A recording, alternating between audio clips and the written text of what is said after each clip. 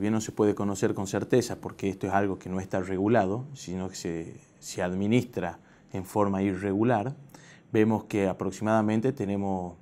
330.000 personas que entran a la ciudad, ya sea de distintos municipios, los mismos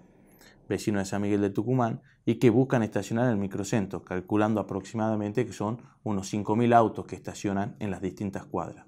Teniendo en cuenta que se cobra entre 10 y 15 pesos en algunos casos o a voluntad, en algunos casos más caro,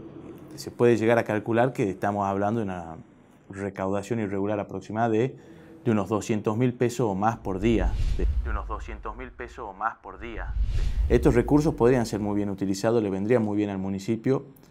que entren en blanco, primero que dejen de generar dudas a dónde van a parar esos recursos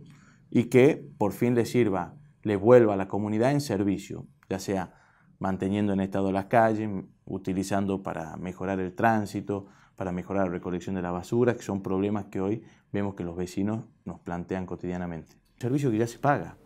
pero se paga sin saber qué monto hay que pagar, se paga sin saber a dónde van esos recursos y se paga con intranquilidad.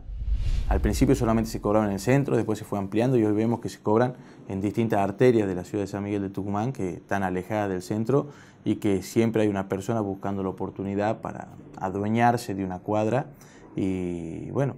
y hacer la recaudación de una cuadra sin saber a dónde van a parar. Reclamo a la sociedad es constante, eh, uno en, con todas las personas que habla o cuando camina o lo sufre también, digamos, eso es indiscutible, digamos se, da cuenta cómo eh, lo incómodo que es la situación a la hora de tener que acercarse a estacionar en cualquier zona de la ciudad de San Miguel Tucumán.